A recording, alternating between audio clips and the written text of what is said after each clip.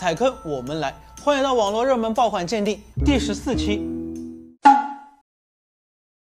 最近款闪电解冻版，不用水不用电，八倍速解冻。放上两块相同的雪糕，当右边菜板还没有动静的时候，左边解冻版的雪糕已经开始融化了。换了冰块实验，解冻版也是完胜。用过之后用水一冲就干净，是不是很赞呢？这么平平无奇的一块金属板就要卖三十七块四毛五，到底是黑科技还是智商税？我们马上来试一下。按照视频里面对照方法呢，放上相同的冰块，看看两个到底谁先融化。哇，这差异很明显的，这效果啊确实还可以，毕竟金属的导热、导冷效果都很不错。那么就再换一种实验方法来试一下。首先称出每个冰块的重量，然后分别放置在平底锅、解冻板和用保鲜袋包裹住，放进水里进行解冻。同样解冻时间为十分钟。我们看看最后结果到底怎样。A few moments later，从肉眼上看啊，其实就能看出胜负了。放进水里的冰块完胜。为了实验的准确性呢，我们前前后后又进行了五次测试，希望大家能看在我们这么严谨的份上，来个一键三连支持一下。最终结果嘛，其实也都大差不差。这解冻板效果是有的，只不过比较鸡肋，还不如直接用平底锅和水。想吃石榴，但是男朋友不给包，或者没有男朋友，试试这个吧。石榴对半切开，放在滤网上，盖上保护套。准备好了吗？不用一分钟就剥好啦，大口大口的吃，太满足了。有了它，男朋友都可以扔掉了。二十五块九的剥石榴神器，我们买来了。岂不是以后剥石榴都不用手抠了？这东西啊，还是花瓣镂空设计，并且还搭配了专用的合金锤，真的这么厉害吗？那我们话不多说，马上来试一下。将切开的石榴呢放进去，像视频里面一样，轻轻的敲几下，这石榴籽应该就能全部掉下来了吧？这石榴籽一个没下来，那这次咱们再加大力度试一下。的确是全部剥出来了，但这渣渣未免也太多了吧？还要我一点一点夹出来，也不能说它完全没有用。如果是你，你会买吗？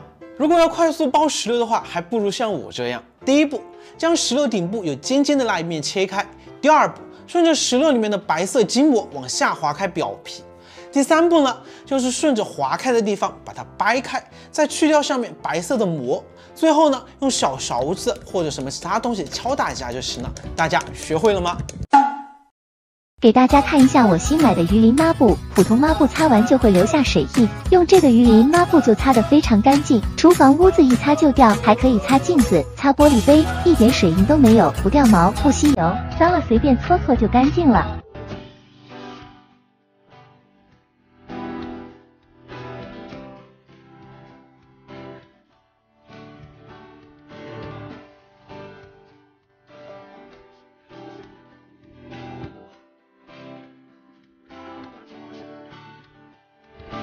十一块钱五条的鱼鳞抹布，我们买回来了。